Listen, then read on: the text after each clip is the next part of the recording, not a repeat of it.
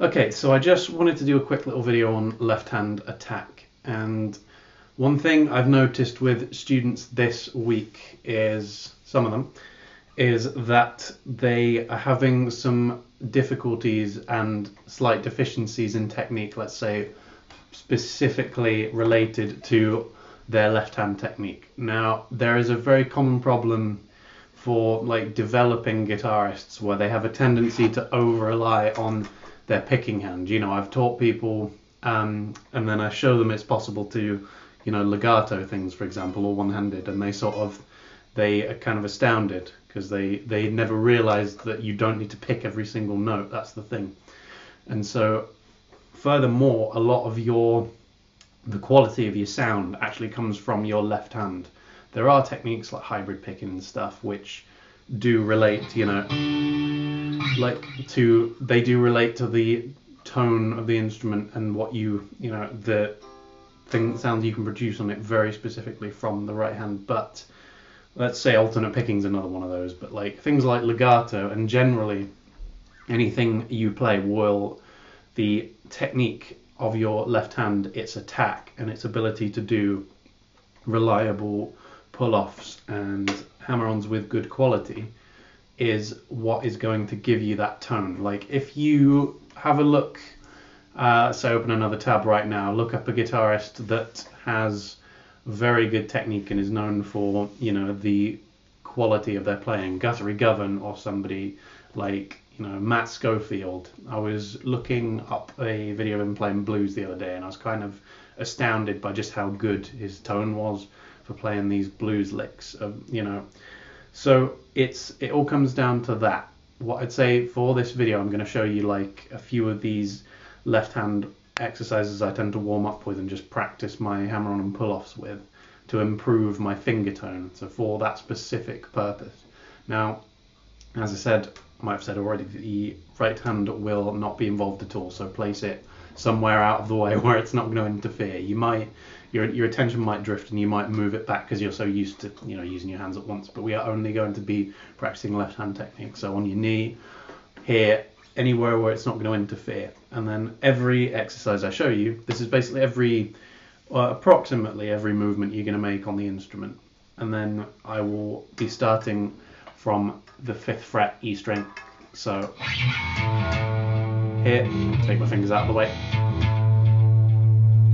Okay, so exercise one is I've showed this in other videos, but it's basically just the ham, the spider exercise going up with hammer-ons and then down with pull-offs. It goes like this. So.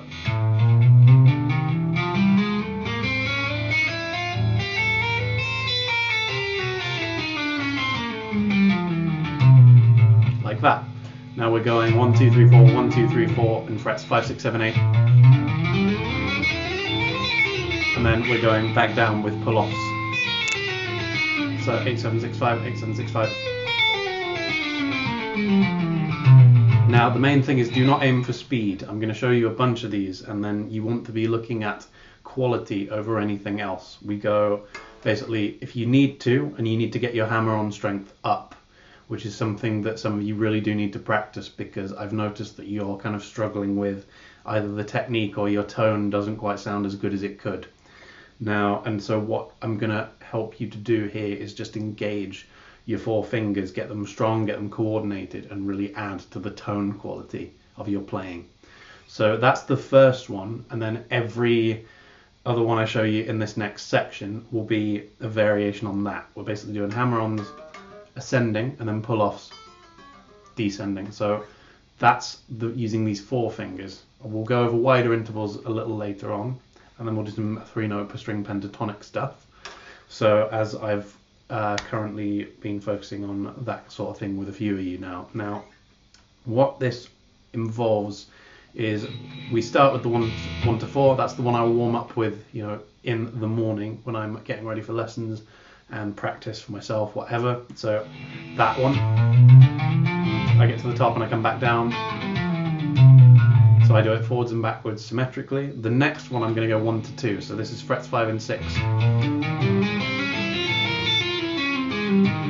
Again, do this slowly and aim for quality over quantity. Do not aim for speed, speed will come. That's not a helpful way to practice. Guthrie Govan, in fact, has a saying about this speed is just the result of good, slow practice. So take that into account and just be patient. Because I'm not expecting you to be, you know, a shredder from day one. This takes time. So just slowly hearing every note and trying to think is it do I get like see how I got two notes there and I should have really been muting probably because I was talking at the same time but you get the idea going slowly through it with a fine tooth comb see I clipped one of the strings there but it wasn't too bad that's the kind of thing I'm saying I'm just going over these exercises and I'm looking for the little imperfections to really like clean up my technique and everything now that's like that's one of them I go up five to six I come down six to five. The next one is five to seven. Same pattern.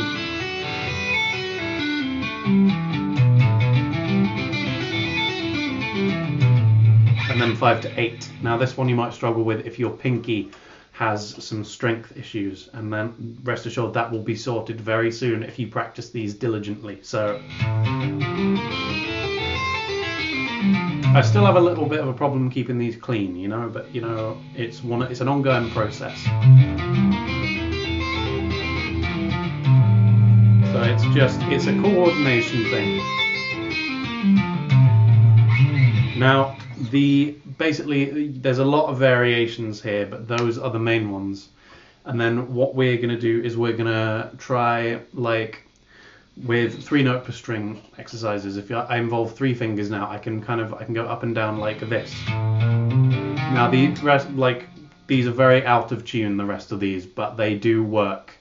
They are very unmusical, but if you stick with it, they're very useful. So because it's kind of approximations of scales, you know, you change position as you go up and down, and this is just designed specifically to get the relationship between, you know, uh, random combinations of your fingers working well, like a team of four with the thumb as the manager. I use that one in lessons quite a lot, as you know, if you're a student of mine. So basically, the three note per string one, the first one would be like uh, frets wise, five, six, and eight.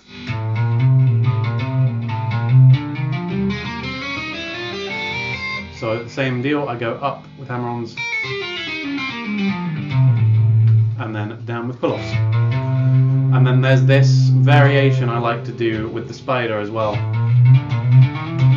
where I double back one note at a time. Sort of like the shredding exercise is going to break my rule for a second and involve my picking hand. But the when you're practicing those alternate picking type runs where you're going,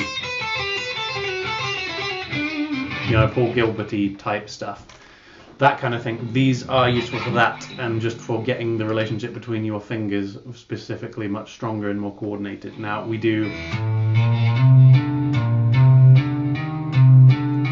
like that. It would be five, six. Now we're still going five, six, eight. So five, six, eight, five, six, eight, five, six, eight.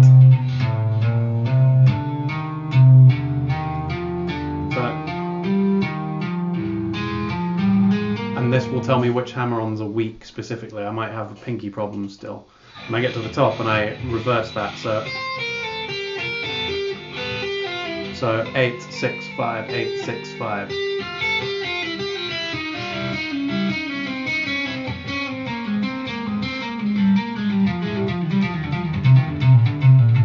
Like that. So just watch that slow section and see if you can follow it along the same pattern. So once you've got the pattern down, everything else just lines up like a jigsaw piece puzzle. Now, the other variation of that would be 5, 7, 8. This one again relies on the pinky, so is more tricky, but is very useful.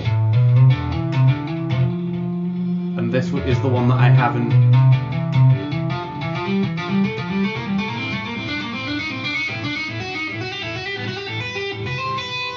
again, this is the one that I haven't quite gotten to grips with, but it's more or less there. It's just for the sake of strengthening my thinking.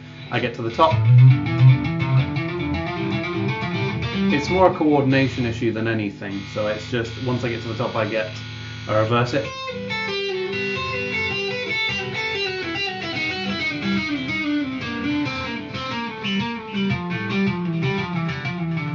And the biggest problem I have right now is the relationship between these two fingers. So just the, I think it's just going to when I need to make a movement like like that between these two fingers. That one is quite weak and uncoordinated still, and it's an ongoing thing.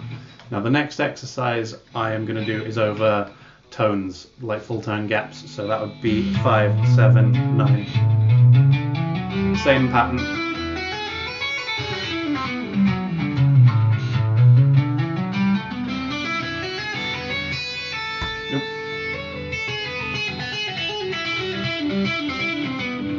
Monitor's gone off.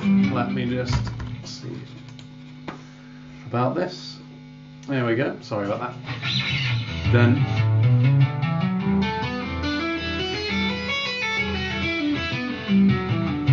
and as you get over these wider gaps, they tend to get much harder. So just like don't be disheartened if you struggle with this. It's a finger strength thing. This is literally going to the gym for your left hand. So I'm going five seven nine five seven nine five seven nine five seven nine five seven nine five seven nine and then nine seven five. And then for the hardcore like technique enthusiasts, then you can try the wraparound variation. Now that's a recurring problem I have, which is why I do these exercises. You see how my first finger didn't quite make the hammer on there?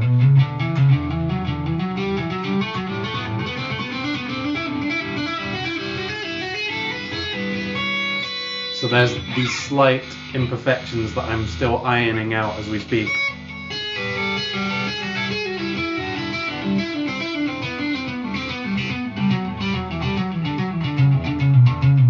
So it, you know, it's more or less there. There's no wrong notes, but there's just these technique deficiencies, the issues with the tone, strings ringing together. That's the sort of thing you iron out, so to speak. Now, these are the hardest variations. So this will be familiar to anybody who has done the three note string pentatonics. So the that pattern going from like five to like eight to ten.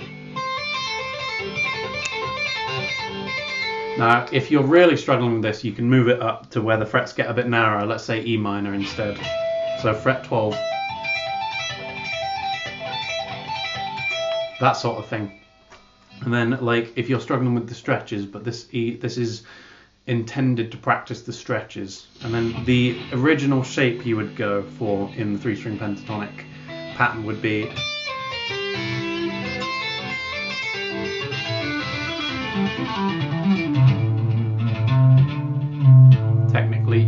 there too, but that's not one I, t- I tend to end it here when I am playing, when I'm soloing over a backing track or wherever. Then you're going to take these and you're going to just take the basically the shapes and play them in a linear fashion like this. You're going to practice your hammer-ons. Again, very unmusical, but very, very useful. So we're going to go 10, 8, 5. Now, you might really suffer doing these to begin with, and also make sure that you, you know, pace yourself because it is very d- easy, in fact, to give yourself a strain injury in your wrist. This works your left hand very hard, so do take a quick rest if you get some pain. Now, yeah, that's the first one. The second is when you get to this part of the pentatonic. So we will go 10, 7, 5. Now slow this down.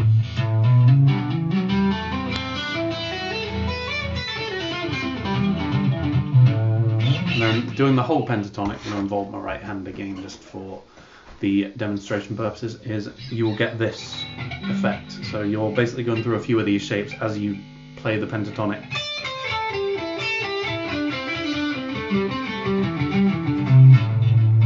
Faster. And then you go through a bunch of those shapes, those variations as you play. So basically focus on all of them and then apart and together and then you will end up with a much much more flexible dexterous and powerful left hand that will fatten your tone up and make each note sound much juicier, even when you're playing a simple blues lick with your picking hand involved or not. So yeah, any questions, just let me know. All right. Now there is also one last one that I wanted to do because I was in I was learning uh, a Allan Holdsworth lick the other day and I realized just how crazy some of his like the t- demands of his technique are. Let's say now this final exercise would be like a weird bastardization over like we're going five to ten now, so this will test your stretching ability to the max. And then, as you can see, as you will be able to hear, rather, this is where my this is the absolute limits of my left hand ability. So we're gonna go.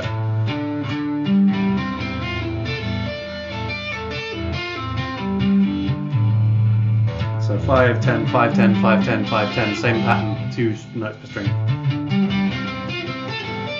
And you can see it's all over the place. This is apps. This is what I'm working on right now because I'm terrible at this one. Now there's a song, um, City Nights, where Allan Holdsworth uses a lick that approximates that kind of shape. It's something like that kind of thing. And then I have it nowhere near playable at this point, so this is why I'm looking at exercises such as this one.